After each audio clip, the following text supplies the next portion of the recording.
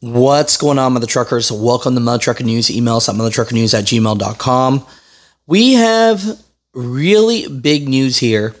And at first, I was like, you know what? Maybe it's not true. Then I get another email. Then I get another email. Then I get so many emails that this trucking company, you know, is not paying their drivers and I'm getting inside information from a lot of drivers that they are declaring bankruptcy this week. You know, for anyone that works for Meadowlark Transport Inc., it says they have 273 drivers. Can you confirm if they are going bankrupt or not? Because I have about 70 drivers emailing me and saying that that's what they're hearing. I need some confirmation. And so it just really sucks. You know, here's the first thing I see when I just look it up on Facebook alone. And this is off of a Hotshot Transportation group. It says, Steer clear of Meadowlark agencies attached is why we hauled a load for them September 15th and have been left with no pay. They have gone ghost I did report them. Lesson learned. Anyone who doesn't factor with Truckstop will get a credit check through all my resources. They have 168 ongoing reports and 58 completed, totaling $146,623 that is owed.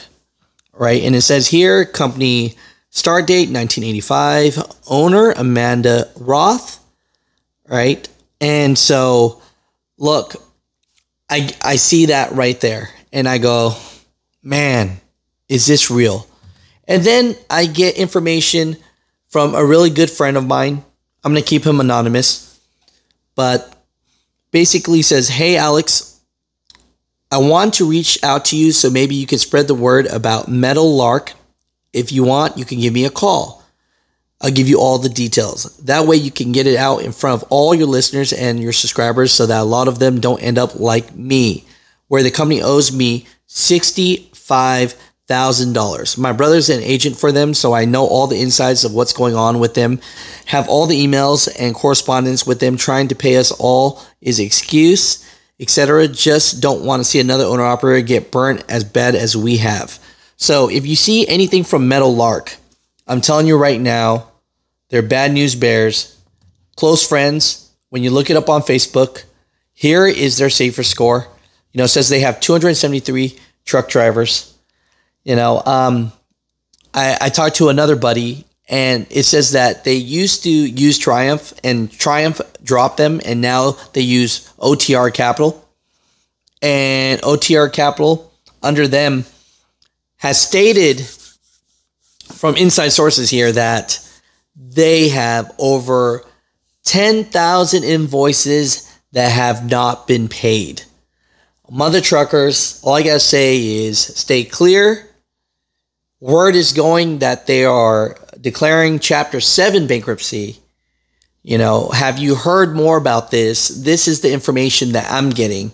But too many people are emailing me at the point that I believe this has to be true. Nobody is talking about this on the internet right now. And so, hey, I'll be the first. But please do not kill the messenger. This is what I'm just getting from numerous people. And, you know, I try to call them, uh, they didn't pick up their phones. Mutha Truckers, comment down below. Email us at muthatruckernews at gmail.com. You know, um, let us know if you done business with Meadowlark Transport Inc.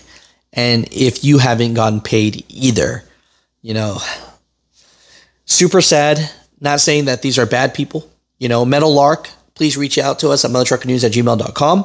Please confirm this. Let us know if this is true or not. But this is what truck drivers are emailing us at Mutha Trucker News and telling us. So we want to clear the air. You know, I appreciate everybody's time.